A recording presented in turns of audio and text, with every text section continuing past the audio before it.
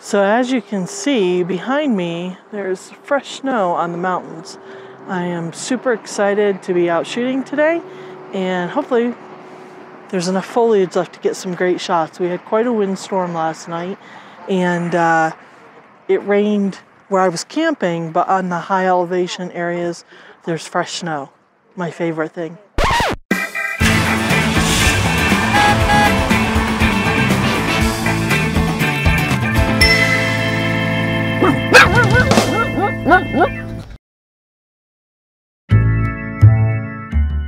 Well, southwest Colorado did not disappoint.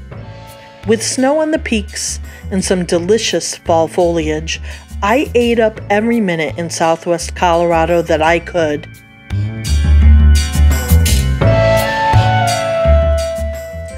From Chimney Rock to the Million Dollar Highway, the scenery was just stunning.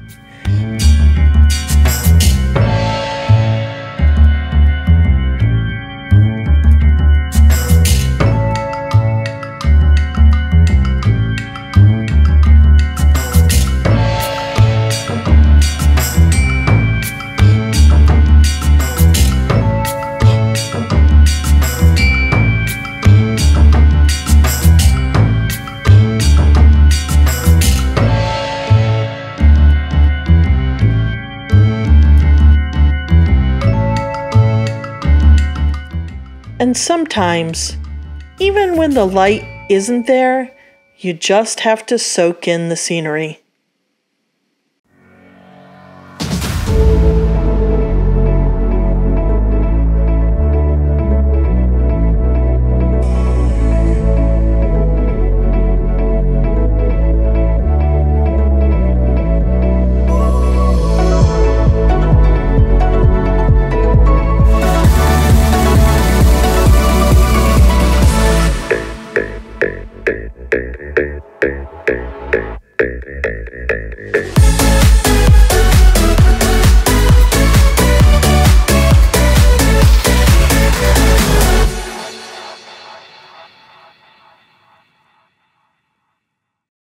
So as you can see, not everything is beautiful sunset, but the scenery is still beautiful even though the light is pretty poor today. Just overcast and cloudy and gray. But I thought I'd share a little bit around my trip. I'm shooting this on my phone, so hopefully the quality isn't too bad. The journey continues. Camping in southwest Colorado is a treat. Because it was late in the year, Many of the Forest Service campgrounds were closed, so I opted for one of my favorite state park campgrounds where I knew I could do laundry, have great views and internet so that I could load apps back onto my replacement phone.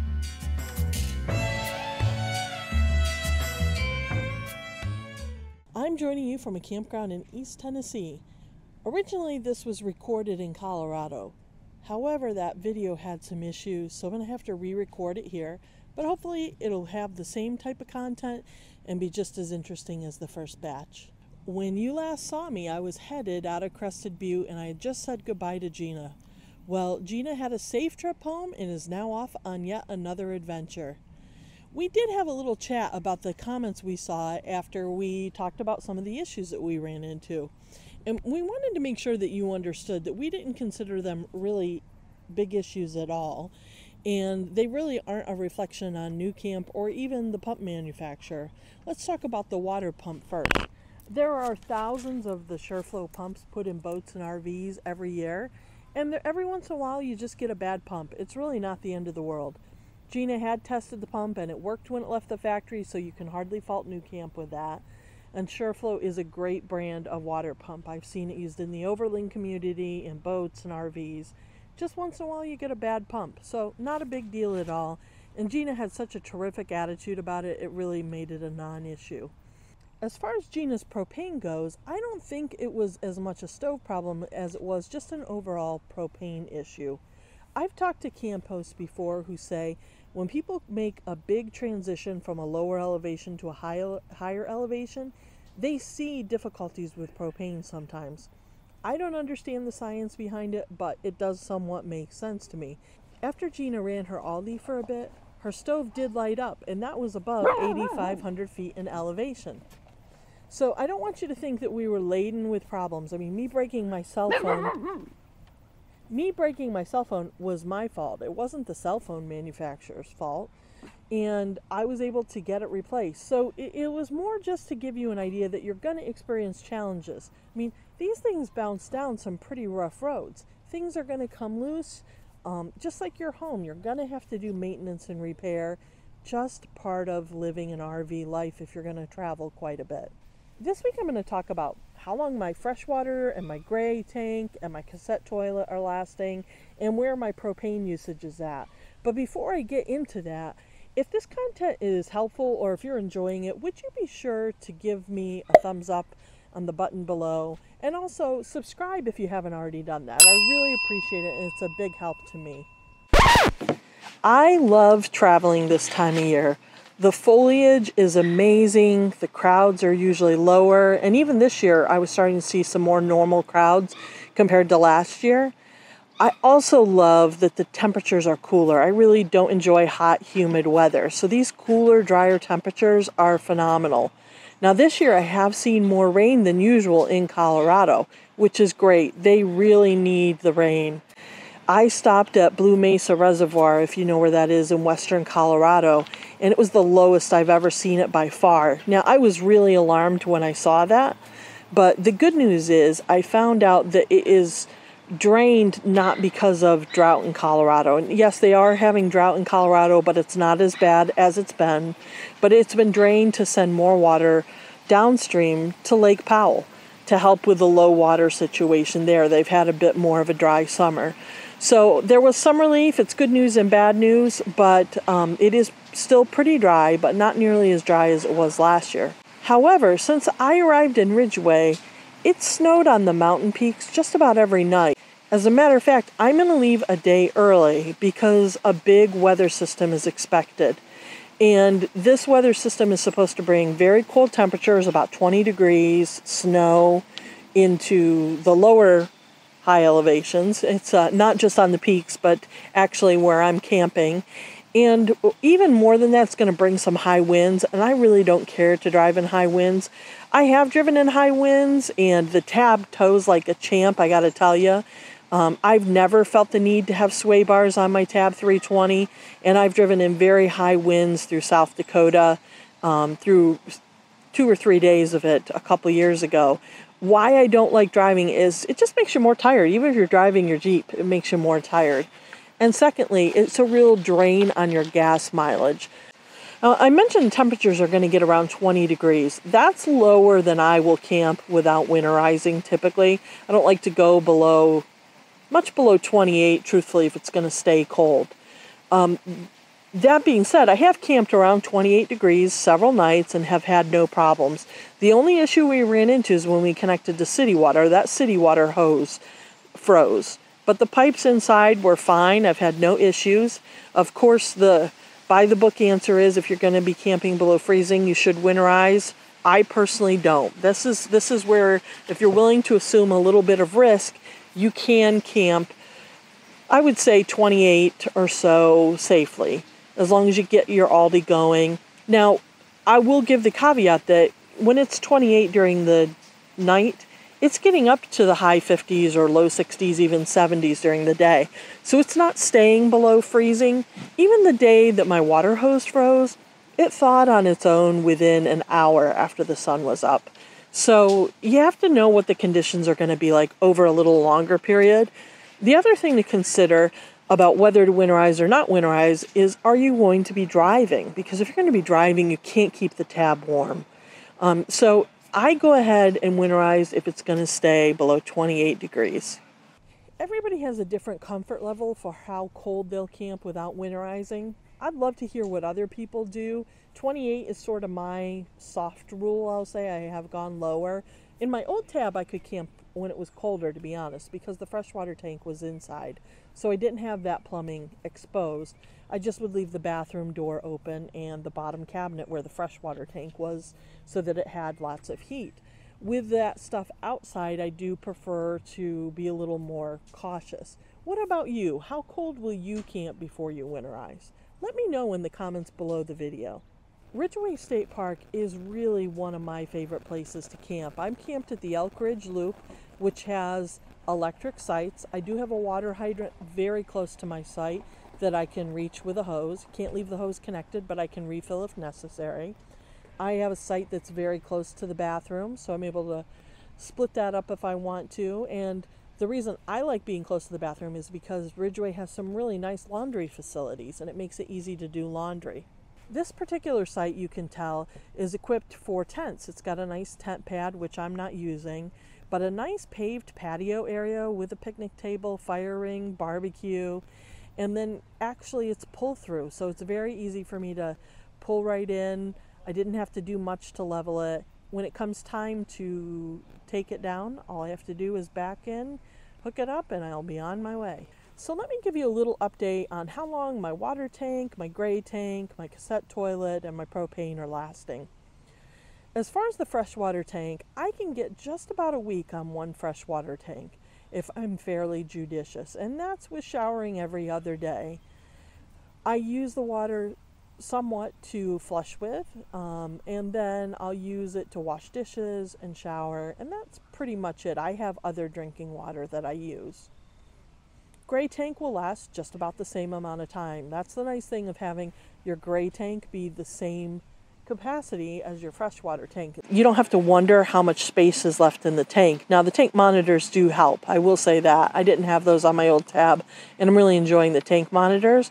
But I can go just about a week with both fresh and gray water. As far as the cassette toilet goes, I'll be honest, that really varies on how much I have to go to the bathroom. So I have found that, especially if I can use the campground bathroom a little bit, I can go several days. Um, but typically, I rather empty it sooner than later, so I'll empty it every three or four days usually. Even when I'm boondocking and using the Alde for both heat and hot water often and cooking with it, I can usually get about two weeks with a propane tank. Now, if I'm using electric sites, I can go a really long time. As a matter of fact, I have the same propane tank in there right now. It hasn't been refilled since I filled it at the beginning of this camping season. I'm going to say I filled it around May or June. So I've been using the same tank, and I think I have plenty of tank left. I have to repair. I actually picked up a little Bluetooth monitoring system so I can tell how much propane I have. And I'll put a link to that in the description below the video. But I have to repair it because I had broken my phone and I haven't gotten around to repairing it yet. But I can tell I still have plenty of propane. Um, and I've only been using it for cooking here because I'm hooked up at electric. With two people, you're likely to go through your water faster than me, but with one person, I'm able to get about a week out of it. I will say the Nautilus makes it super easy to refill from a water bottle, and I have a video that shows you how to do that. It actually uses the pump and sort of siphons it out of the freshwater container. No more lifting a five gallon heavy water container and trying to pour it into a gravity fill. It does it automatically. It's awesome. I've, I've seen some people express concern about the battery that's used for that, but it, it really isn't that much. And it's well worth the battery power that you use to fill it than having to lift that tank. You know, on my original video, I had said at the time I recorded it that I hadn't seen another tab the entire time I was here. But as soon as I stopped filming that video and got in my car to leave the campground, I came across some folks from the tab group. And they lived up in Montrose. They have a Tab 400. They just got it this year, and they shared they hadn't had a single issue with it. So this goes out to all the people who say there are so many issues. Well, of course, you're going to see issues in Facebook groups because that's where people go to problem solve. So many people have no issues whatsoever.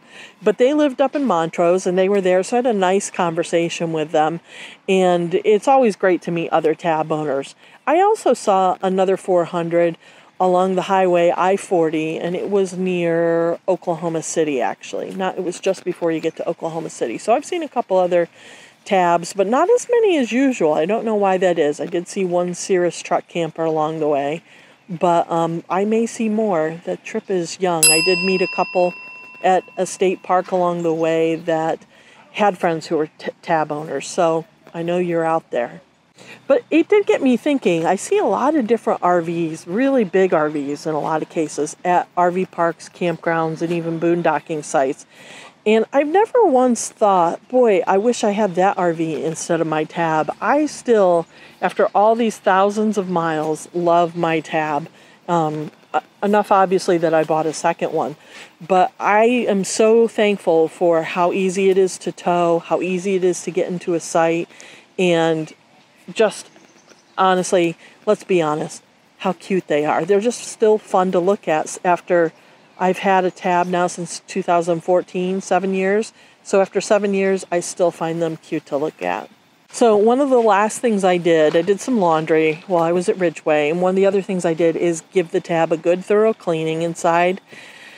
And um, I vacuumed it out and pulled all the rugs out, gave them a good shake, and wipe things down. I like to use the Lysol wipes just to wipe things down the walls and even the cushions. To be honest with you, I have ultra leather cushions, so wipe everything down. Got it cleaned. Then I attacked my Jeep. Now, Gina lived through my disastrous Jeep. I had not organized it before I left because I thought when I get to Cleveland, I'll have time to pull everything out and reorganize. Well, it rained and I didn't get to pull everything out. So I was living with things somewhat in chaos. It made me crazy. It was really nice to get things a little little more organized so now the chaos at least has some organization to it.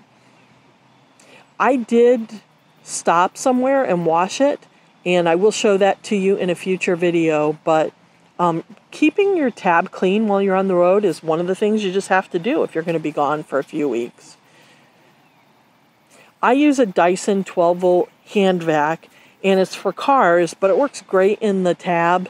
Um, and truthfully, I use it to clean up the dirt, but I also use it to suck bugs that manage to get in. If I leave a, you know, people talk, how, how come the bugs get in? Well, usually the bugs are getting in in most cases because you have a light on inside and you open the door.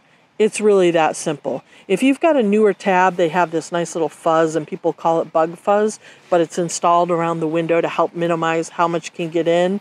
And those screens do a pretty good job. I'm not going to say that occasionally those itsy bitsy no-see-ums can't get in because they can, but most of the time it's because you've got a door open, even for just a second, with lights on inside. If you want to keep the bugs out, just turn the lights off before you go inside.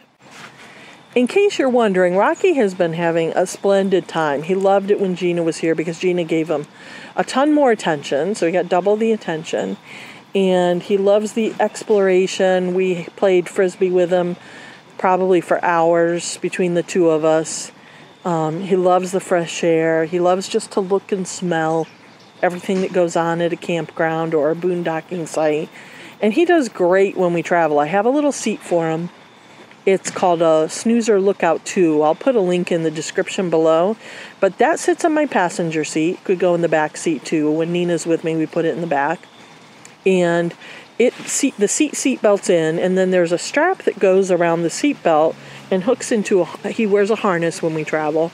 Hooks into his harness so he's secured as well. He really prefers to be in that seat and harnessed in versus being on someone's lap. He feels more secure and he sleeps pretty much the entire time we're in the car. He's an excellent traveler and he does great at campgrounds, so we've had a good trip. So, it's on to my next destination. Thanks for watching. I'll see you next time.